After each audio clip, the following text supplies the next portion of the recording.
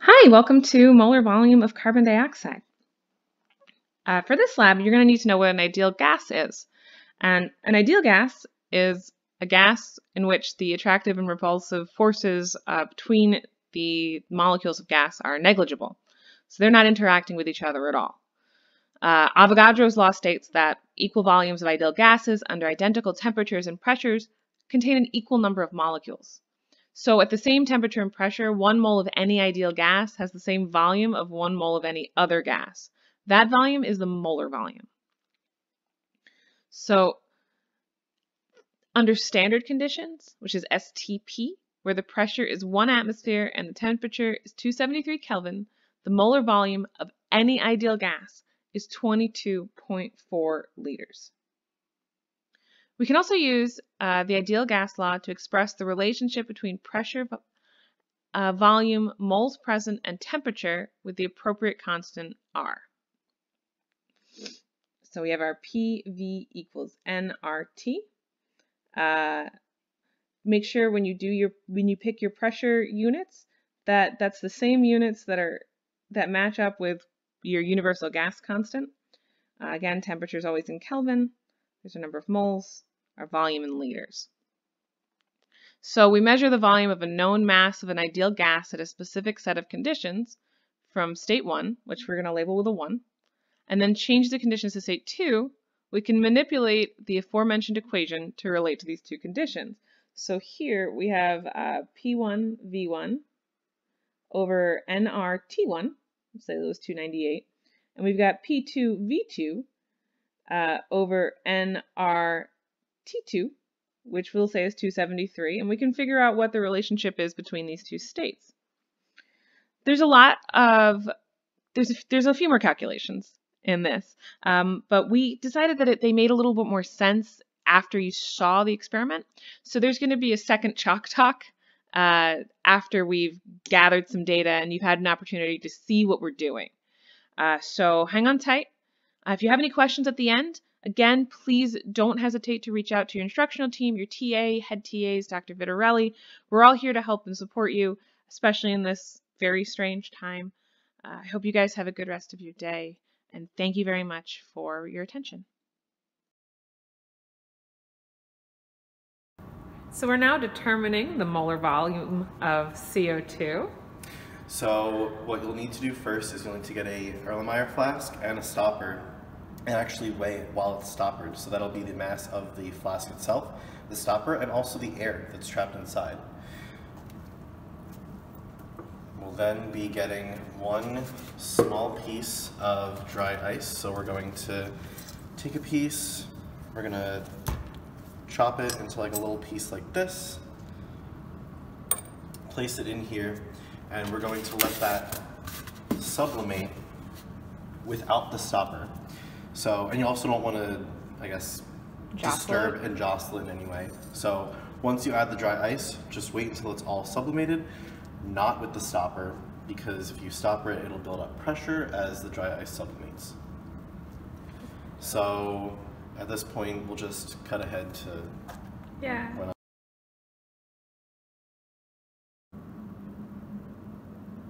So right now the dry ice is almost sublimating.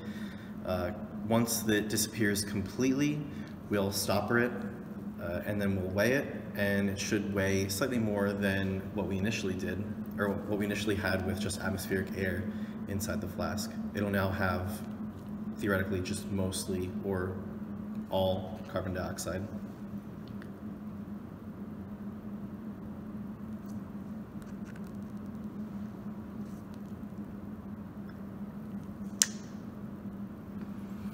And notice how I just use one finger, I stabilized the flask with these two fingers, and I just pressed gently with this finger. You don't want to jam it really hard because the flask might shatter. So we're going to weigh it.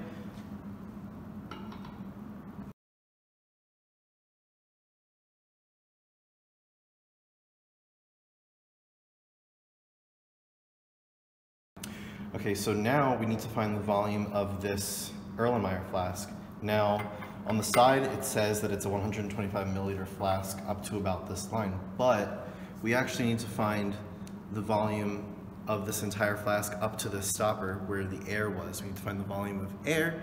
The way we can do that is we can fill this up to the brim with water and then measure the volume via a graduated cylinder. So we'll take water, it doesn't have to be DI, it can just be straight from the sink, and carefully pour it in near to the very top.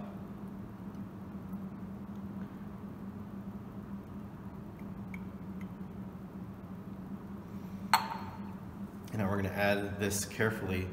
We're going to stabilize the flask and you're going to gently and not forcefully push the cork in. Now, if you notice, I still need to fill this up with water because there's still a air bubble.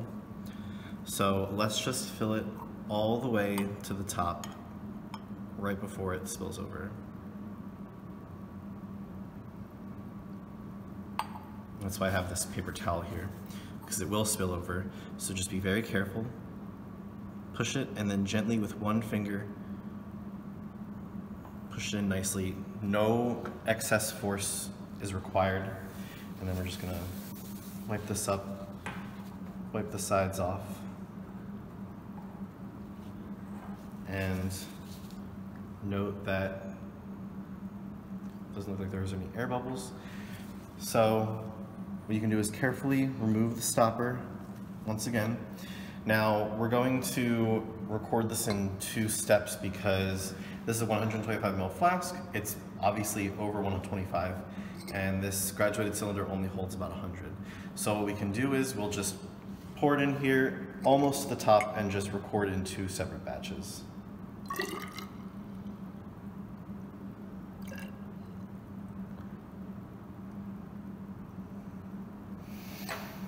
So it doesn't matter where you do it to. So just record on a piece of paper. So this looks like it's actually exactly 75, 75.0. Hmm. Wow, good job. Just, just right off to the side. And then what I'll do is I'll just dump the excess back into a random beaker. Not random, it's water. And then we're gonna dump the rest.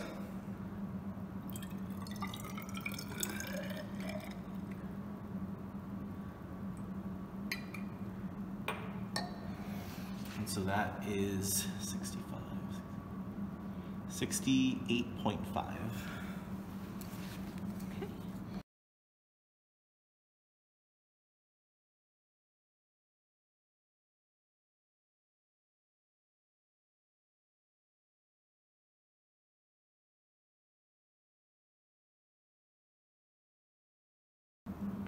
So here are the calculations that you have to do for the um, molar volume of CO2 lab. Uh, first, you're going to convert lab barometric pressure from inches of mercury to atmospheres using these um, equations here, uh, these relationships. Um, and then you'll convert lab temperature from Celsius to Kelvin. And you know, we've given you both the pressure in inches of mercury and temperature in Celsius, and you just have to easily convert that into uh, atmospheres and Kelvin.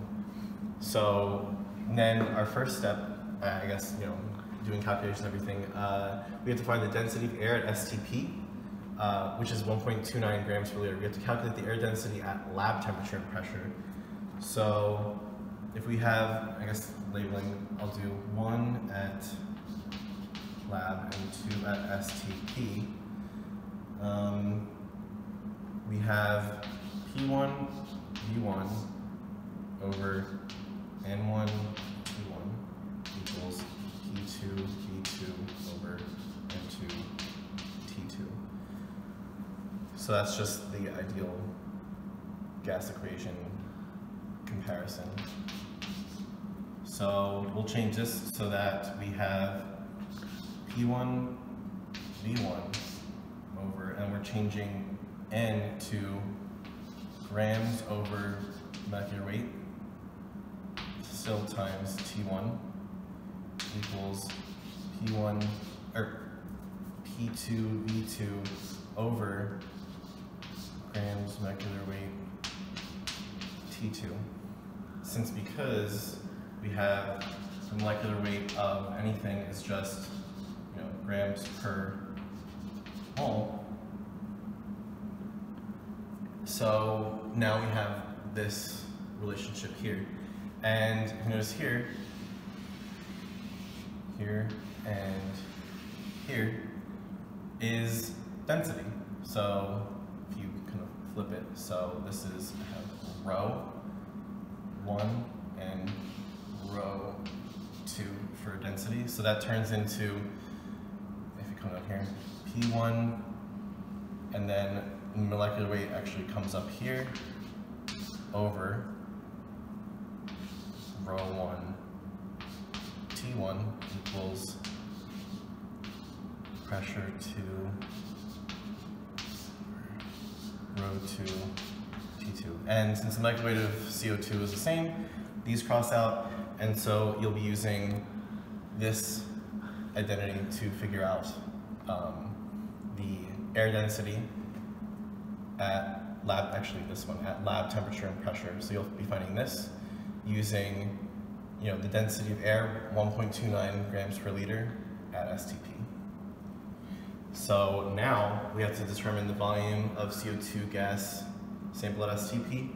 So as this relationship right here where I have this sub one is lab temperature pressure and then two is the STP, you can just do P1 V1 over T1 equals P2 V2 over T2 and you'll solve for V2 equals P1 V1 T2 over T1 and P2. So now we come over here. So uh, we have to calculate the mass of air contained in the flask. So the mass of air, MA, equals rho, or you can also just write D, density of air, let you decide which letter you want to do, times volume of the flask so it's pretty simple. Uh, six, we actually cal calculate the mass of CO2 contained in the flask. Now, that's once we add the dry ice, let it sublimate, stop at the flask. How much, how, like what's the mass of all that CO2 in there? So we have the mass of the flask, stopper, and air. That's M1 equals mf